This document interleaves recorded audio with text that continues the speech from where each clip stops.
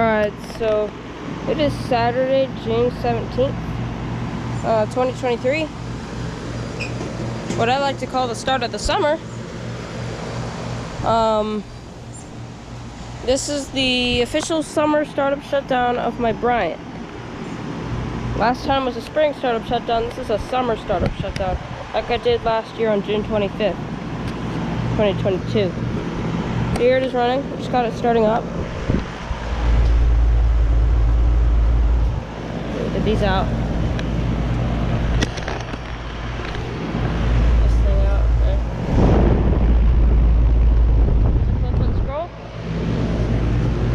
Very cold and sweaty. Not too bad. Pretty clean. Has a Mars fan motor. It's a pretty rare brand for a fan motor. But yeah, there it is. Yeah. Um, so yeah, thank you for watching. Um, yeah, thank you for watching. Over and out. Let's get the shutdown now.